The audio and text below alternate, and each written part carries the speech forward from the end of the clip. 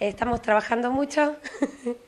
Eh, hemos planteado un comienzo con una nueva, un nuevo nombre institucional que no es un capricho, sino más bien eh, depende de, nuevas normativas desde el área de desarrollo social de, Córdoba, del Ministerio de, Córdoba.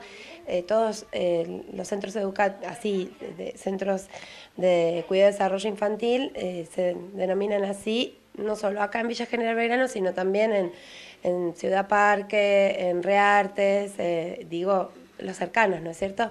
Y mm, bueno, comenzamos con una nueva, un nuevo nombre institucional. Entonces, eh, que es mucho más abarcador a lo que era antes, ¿no? Desde si uno se remonta al pasado, éramos jardines maternales, eh, durante muchos años fuimos jardines maternales, luego un lapsus, un periodo de, guardería y ahora somos centros de cuidado y desarrollo infantil que abarca las dos cosas, guarderías y, jardines. Eh, trabajamos con mucha fuerza sobre los derechos del niño, primero y principal. Entonces, si nos basamos en eso, necesitamos eh, educadoras idóneas, que quiere decir que capacitadas, que se capaciten, que sepan eh, sobre las etapas de desarrollo del niño. Entonces, em, cada una de las educadoras eh, rinden este, a ver, tienen este perfil y trabajan en equipo. Yo quiero dar un ejemplo de, un equipo, por ejemplo, de, aquí. estamos en Bosque Chocolate, el CCDI Bosque Chocolate, que ediliciamente es más pequeño que, por ejemplo, el CCDI El Molino. Aquí se trabaja la pareja pedagógica de lactantes con dos educadoras, la pareja pedagógica de 1 y 2 con dos educadoras y la pareja pedagógica de 3 con dos educadoras esta maestranza y tenemos la, nuestra querida cocinera. Eh, digo porque aquí eh, no hay la misma cantidad de educadoras que hay en el molino, o que hay en Duende, o que hay en Rincón. Todo depende de acuerdo a, las, a lo edilicio y a la cantidad de niños. Tenemos un total de 240 niños en los cuatro centros y un total de 40 educadoras el concepto de educadoras es casualmente para que todas se sientan parte de este proyecto que tiene que ver con los derechos del niño y con el derecho a, ser respetados, tanto los niños como las personas que están a cargo de los niños, em, en su vínculo, sobre todo, ¿no es cierto? Que no importa que sea la cocinera, está cocinando con amor para cada uno de los chicos, de los niños, y le pone mucho empeño en que la tarea eh, sea sea, eh, esté bien hecha. Y estar bien hecha para nosotros quiere decir que está hecho con, amor. ¿Otra novedad que otro eje están desarrollando en los distintos centros?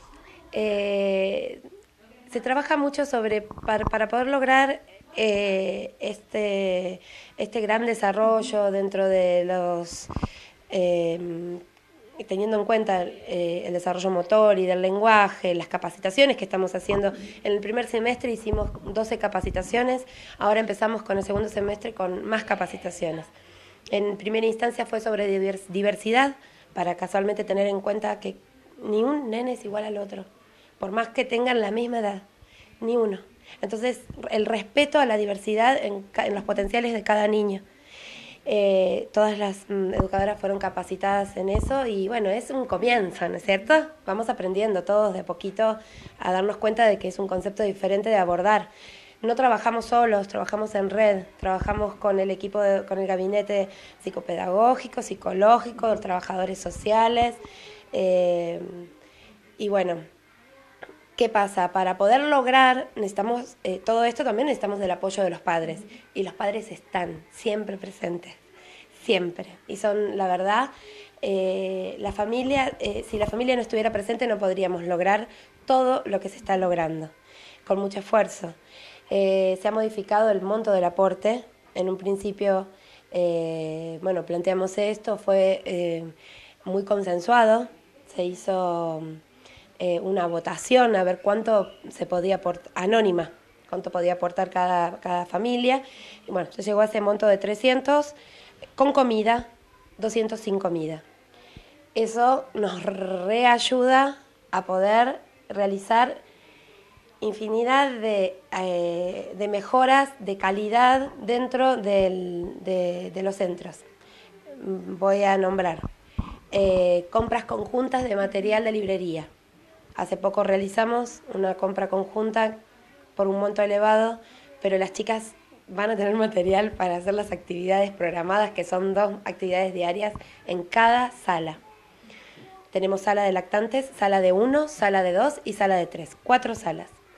Bueno, después se compraron mobiliarios acordes a, la, a la edad para que los chicos puedan representar el rincón de la casita con su cocinita y con su heladera y todo eso acordes a su edad. Eso se compra con el aporte, con la colaboración de cada una de las familias.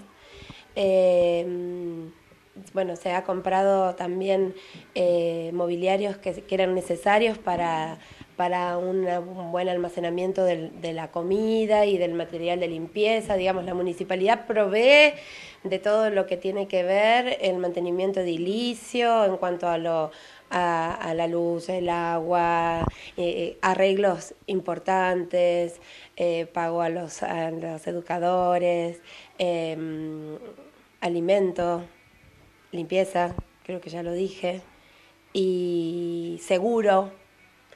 Cada niño está asegurado, tiene un, un- seguro por accidente. Los 240 niños están asegurados en su día de, dentro de los centros de cuidado y desarrollo infantil. Eso es un logro muy importante de, de- de- de esta gestión y verdaderamente lo tengo que decir así. Eh, pregonamos siempre desde primera instancia de poder lograrlo y lo logramos ahora. Por lo tanto, bueno, está muy regulado el tema de las altas y las bajas de los niños dentro de cada centro, como también cada centro tiene los cupos de cada uno de los otros centros. No sé si me explico, como para que no exista ningún niño fa- fantasma. Existen los que existen y están los que están. Entonces es muy importante eso para que, bueno, para trabajar bien, para trabajar prolijo, para trabajar eh, como nos gusta. ¿Tienen planificadas acciones con los papás, actividades? Sí, por supuesto. En este segundo semestre la idea es eh, concretar este proyecto que es eh, la muestra final. Eh, digamos, la muestra de fin de año que se realizará en cada uno de los centros y va a ser bajo los ejes de, de la literatura infantil, o sea, todo lo que tiene que ver los cuentos, la- eh, las, eh, las diferentes...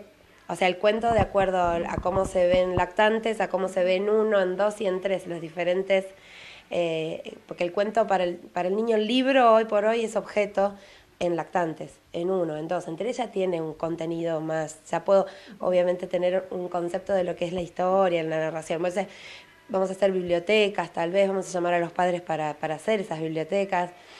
Se les pidió ma- material descartable para realizar juguetes, va a haber, van a- se van a convertir en artistas y van a venir a participar, a hacer obras de arte.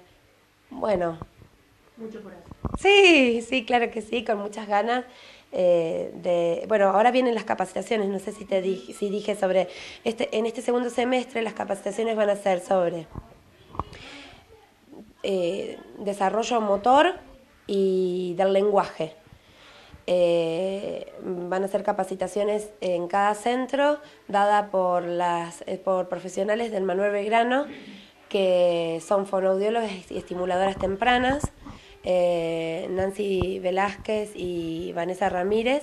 Después la doctora Puliese también va a dar capacitación sobre sueño, o sea, descanso, uno diría, ¿qué va a capacitar sobre sueño y descanso? Y sí, hay, mucho para acá, porque la edad de nuestros niños, eh, el sueño tiene mucho que ver.